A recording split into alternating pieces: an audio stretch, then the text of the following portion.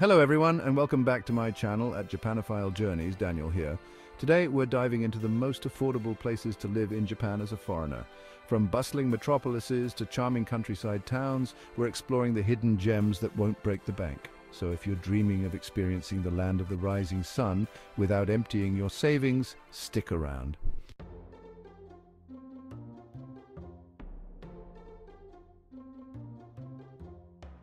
First up, we're heading to Fukuoka, the largest city on the island of Kyushu. Fukuoka is renowned for its delicious food, vibrant nightlife, and laid-back atmosphere. But here's the kicker, it's also surprisingly affordable. Rent in Fukuoka can be significantly cheaper compared to cities like Tokyo or Osaka. Imagine finding a cozy one-bedroom apartment for around 60,000 to 80,000 yen a month, and the savings don't stop there. Fukuoka boasts an efficient public transportation system, with fares considerably lower than in other major cities. Plus, the abundance of affordable eateries means you can enjoy delicious ramen, seafood and local specialties without hurting your wallet. Culturally, Fukuoka is a treasure trove waiting to be explored. Visit the ancient Kushida Shrine, stroll through the serene Ohori Park, or immerse yourself in the bustling atmosphere of Canal City Hakata. And don't miss out on the Yatai Fukuoka's iconic open-air food stalls that serve up mouth-watering treats late into the night.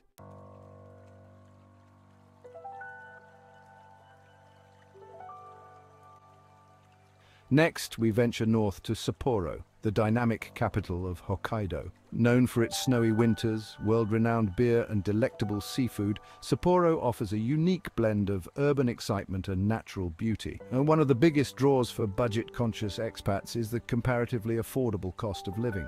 Rent in Sapporo is generally lower than in many other major Japanese cities.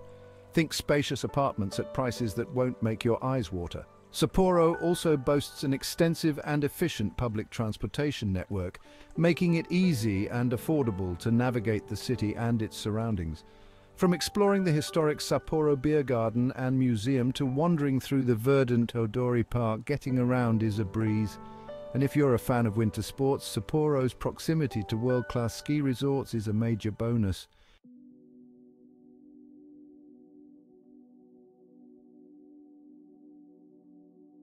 All right, lads, moving on to the city of 10,000 shrines, Kyoto.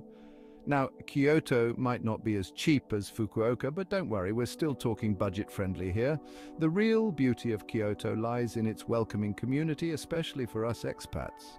Kyoto attracts a lot of international students and teachers, which means there's a pre-existing network of people who understand the struggles of adapting to a new country. You've got language exchange meetups, cultural workshops, you name it.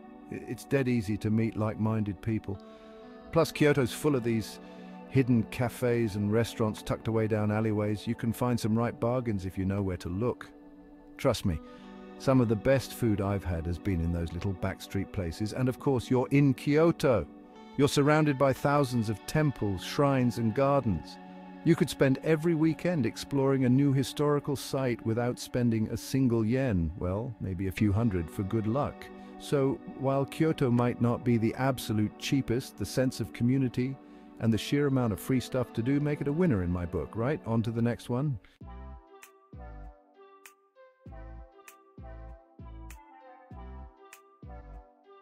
Next up, we're diving into Osaka, often called the nation's kitchen. Osaka is known for its vibrant street food scene, friendly locales, and most importantly, its safety. Japan in general boasts incredibly low crime rates, but Osaka takes it up a notch. You can comfortably wander around at night, try those late-night food stalls, and not have to constantly look over your shoulder. This sense of security is a massive plus for expats especially if you're not used to living in a big city. It just gives you peace of mind, you know. You can relax and enjoy yourself without constantly worrying about your belongings or personal safety. And let's not forget about the cost of living.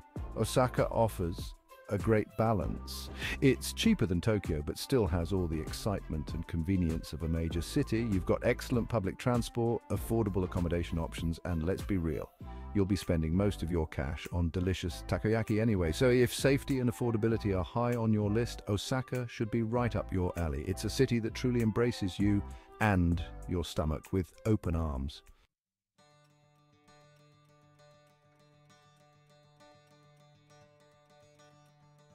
All right, now we're heading to Nagoya, the industrial powerhouse of Japan.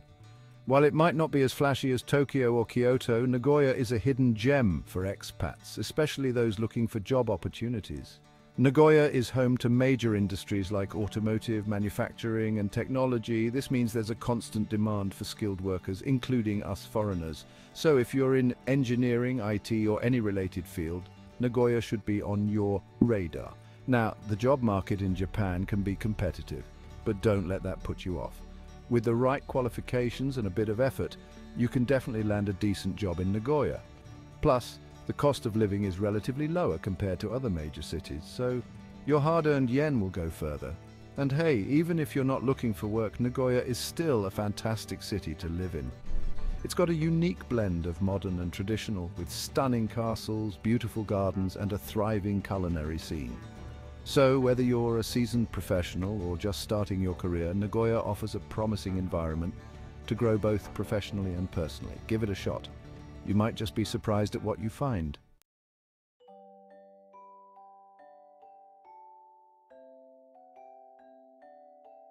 All right, lads, Kobe, land of the famous beef, stunning harbour views and surprisingly a haven for expats with families, especially those with young'uns to educate you see, Kobe boasts a good number of international schools catering to various curricula and budgets, so if you're thinking of relocating with your little explorers, this could be your spot. We're talking established institutions with good reputations, offering globally recognized qualifications. It's not just about academics, though. These schools are like mini melting pots, giving your kids a head start in cultural understanding and language skills. It's like a cheat code for raising worldly wise kids, in it. Plus, let's be honest, having a solid international community around you can be a lifesaver when you're a stranger in a strange land, eh?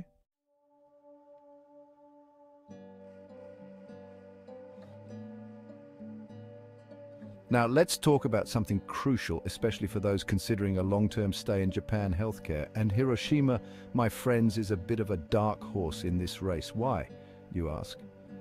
Well, it boasts a robust healthcare system with top-notch facilities and highly trained professionals.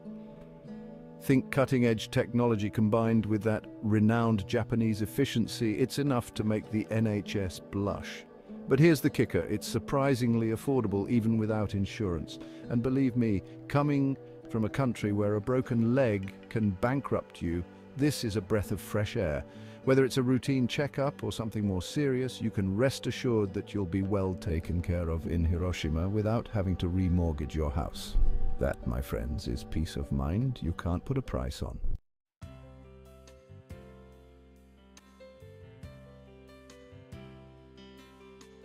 Right, let's jet off to Naha, the vibrant capital of Okinawa. Picture this. Turquoise waters, pristine beaches, and a culture so unique it feels like a different country. But hold on, what about the language barrier?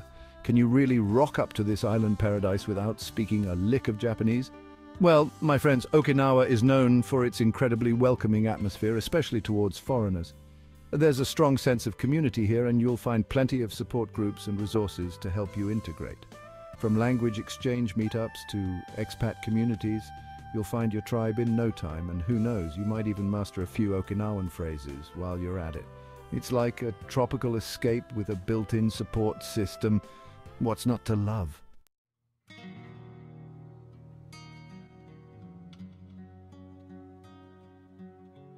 All right, mates, let's hop over to Kanazawa on the coast of the Sea of Japan. This place is like stepping back in time, but with modern-day convenience and, thankfully, a very reasonable cost of living.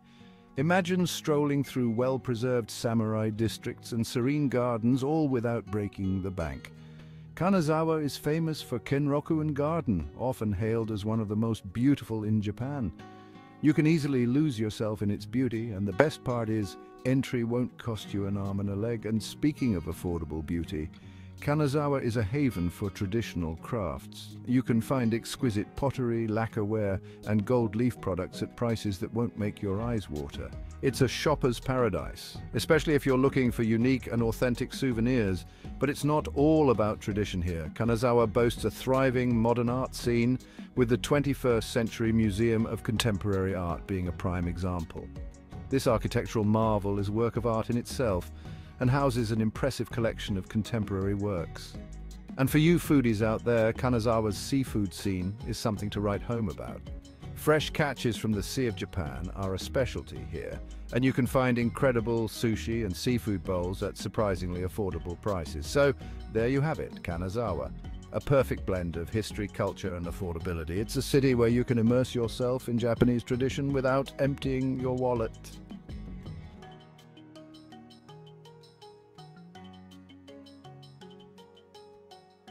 For our final stop on our budget-friendly journey, let's head up north to Sendai, the largest city in the Tohoku region.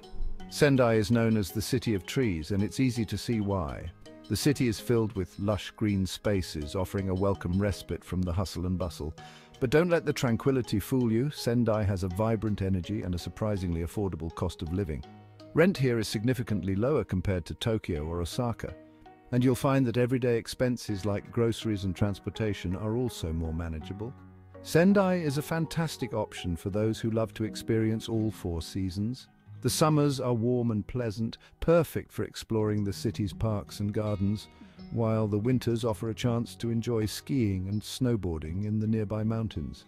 Food lovers will be in for a treat in Sendai, which is famous for its gyutan, or beef tongue.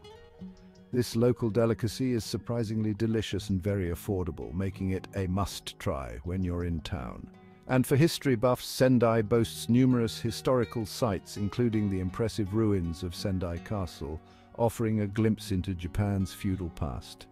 So whether you're seeking natural beauty, cultural immersion, or simply a more affordable lifestyle, Sendai is definitely worth considering.